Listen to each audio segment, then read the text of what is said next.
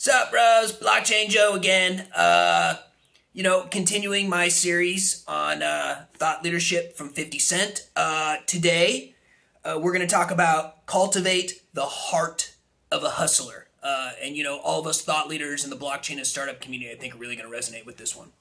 All right, so to cultivate the heart of a hustler, according to 50 Cent, hustling might be associated with selling drugs but it's actually a character trait that's shared by winners in every professional.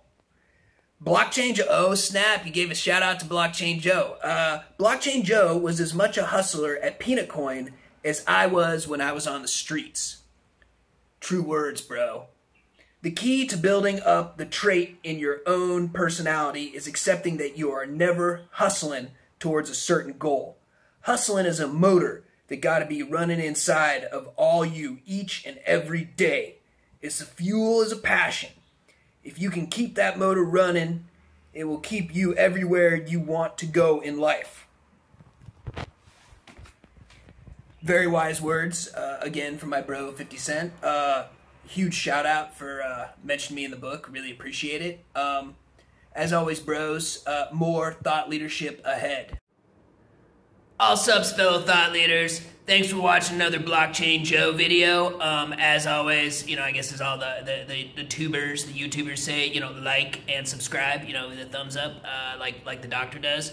Um, additionally, if you would like to become a, a peanut coin, uh, there, yeah, there you go, peanut coin holder. Um, unfortunately, I can't do anything with the crypto glove right now. Um, we've, yeah, cancer risk. Um, any rate, uh, if you want to become a peanut coin holder, uh, I've got a lot of thought leaders asking me like, how do I become dis- disruptive and hold peanut coin uh, so that I can become a, a, a future blockchain leader? Um, you know, take a look at my, my bio here on the YouTube or maybe uh, on LinkedIn, uh, and it'll give you full details.